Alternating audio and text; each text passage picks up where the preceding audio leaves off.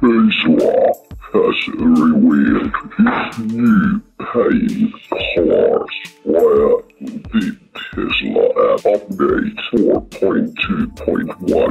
It shows the first three paying, paying cars that are available for Giga Berlin vehicles. Also, the recent Tesla app update features the three new color options. Deep Crimson Multicolored Merciless Mercury Silver Metallic and uh, Abyss Blue Multicolored.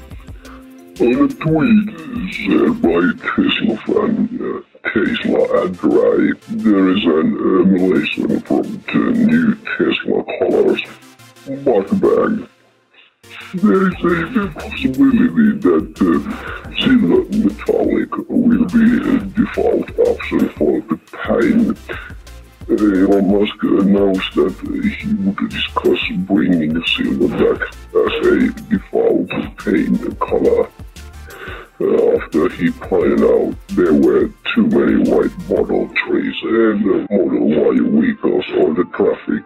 Elon Musk tweeted on in July that uh, Giga Berlin Deep Crimson Paint color was his favorite option at the time. Some weeks ago at Giga Berlin Paint Shop, they were seeing a Deep Crimson Model Y recently. The Brandenburg's State Office for the Environment granted early approval, allowing Tesla to paint 250 car bodies over the period of 60 days.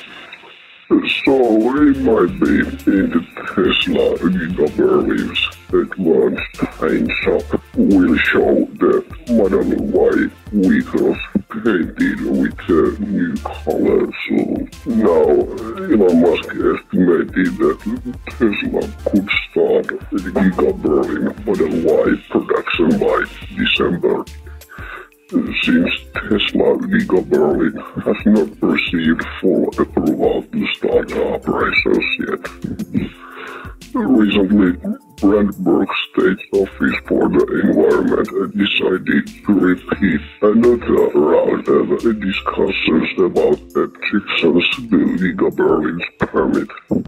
So that will delay the approval even more for at least another month.